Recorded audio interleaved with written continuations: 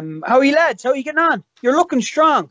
We're good. Thanks. Uh, welcome to the podcast. We're good. To, it's good to have you on. You've got you've got good definition going on there. You've got good biceps. You've got strong bones. Well done.